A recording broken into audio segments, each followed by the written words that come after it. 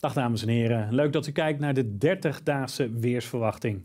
Op deze vrijdag trok zowaar een gebied met bewolking en zelfs een paar buien over ons land. Ja, dit ziet er een beetje herfstachtig uit, alhoewel de bomen zijn voornamelijk nog groen.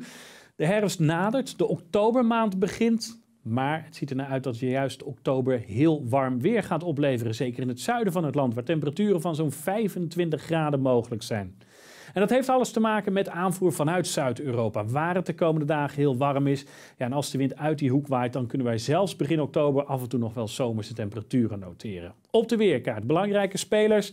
Lage druk boven Noord-Europa, dat schuift geleidelijk aan door. Een belangrijk lage drukgebied op de Atlantische Oceaan. Maar aan de voorzijde van dat lage drukgebied weet nou juist boven Frankrijk een nieuw hoge drukgebied tot ontwikkeling te komen. Dus na de regen van deze vrijdag klaart het dit weekend op. Alhoewel gebieden met bewolking en regen blijven dichtbij. Dat zien we dit weekend gebeuren als er af en toe wat gebieden met neerslag richting Zuid-Scandinavië trekken.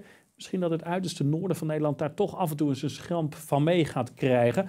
Maar veel belangrijker, hoge druk boven Centraal-Europa. Daardoor de wind uit het zuiden, zodat het bijvoorbeeld maandag erg warm kan worden. Dinsdag trekt dan een koufront over met wat regen. Maar daarna bouwt zich weer een nieuw hoge drukgebied op. Dus waarschijnlijk krijgen we dan een herhaling van zetten. Met later volgende week en richting volgend weekend opnieuw wind vanuit het zuiden en aanvoer van die Zuid-Europese lucht. En dus temperaturen van 20 graden of meer.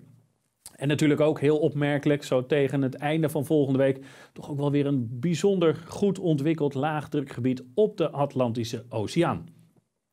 Dat levert dan een luchtdrukafwijkingskaart op voor volgende week. En het is natuurlijk niet verwonderlijk dat er juist in onze omgeving en ten zuiden, ten zuidoosten van ons, de luchtdruk duidelijk hoger dan gebruikelijk is. Een krachtig hoge drukgebied weet zich daar te nestelen, maar is wel een beetje in beweging. In eerste instantie trekt hij dus vanaf Bretagne even ten zuiden van ons richting Centraal-Europa. En later in de week komt er dus weer een nieuw hoge drukgebied voor in de plaats. En af en toe kan dus de wind overtuigend uit het zuiden waaien en ons dus hoge temperaturen opleveren. Lage luchtdruk dus op de Atlantische Oceaan. Dat zagen we net ook in de animatie terug.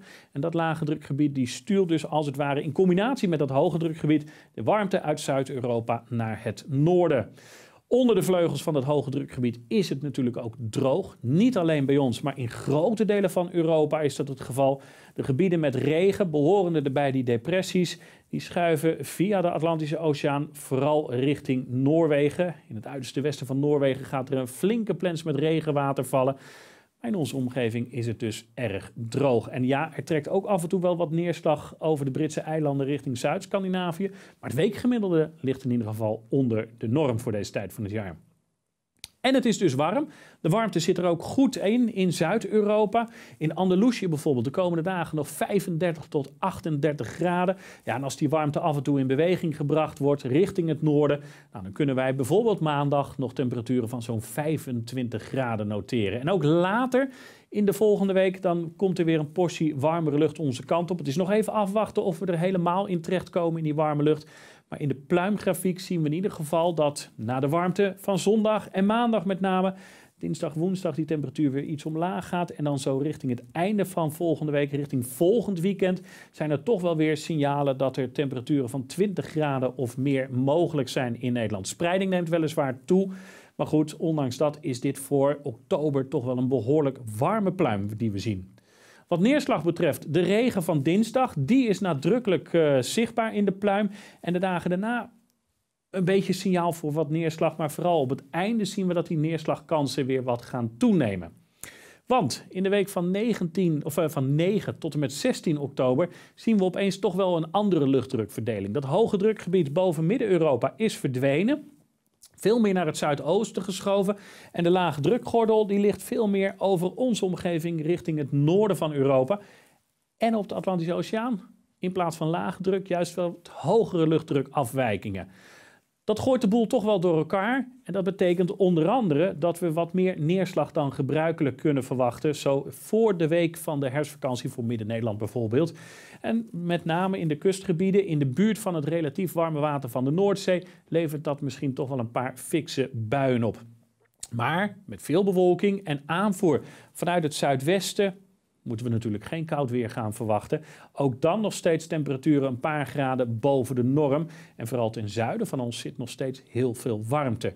Dus een vroege afkoeling in oktober, dat zit er voorlopig niet aan te komen. En als we dan verder kijken, zo richting het midden van de maand, of het tweede deel van de maand eigenlijk, ja, wat we dan vooral zien is dat al die berekeningen van het ECMF-model, wat de basis vormt van deze 30-daagse weersverwachting, dat die vooral lichte afwijkingen laten zien van lage druk boven onze omgeving en grote delen van Europa. Weinig afwijking op de oceaan. Dat zou zelfs het signaal kunnen zijn dat daar toch wel wat vaker hoge drukgebieden worden berekend. Dat betekent dat met lage druk ook in deze periode de neerslagkansen net even wat groter zijn, met name in de kustgebieden. Een, ja, iets wat we vaak zien in het uh, najaar. Dat juist in de buurt van het warme water veel vaker felle buien vallen. Landinwaarts is het wat dat betreft een stuk minder nat. En nogmaals, ook weer met inderdaad wat hoge druk op de oceaan. Daar toch net even het risico op een wat drogere periode. Al is het signaal niet echt overtuigend. De laatste week van deze vierweekse verwachting zien we vooral wat meer neerslag aan de zuidzijde van het Alpengebied. Dus misschien wat meer zuidelijke winden. En ook in deze week worden nog altijd temperatuurafwijkingen voorzien die iets boven normaal gaan uitkomen. Oktober zal daarmee warm gaan eindigen op basis van deze verwachting. Met in eerste instantie nog echt nazomerweer. Vanaf zeg maar de tiende van deze maand dan lijkt het risico toe te nemen op een aantal buien.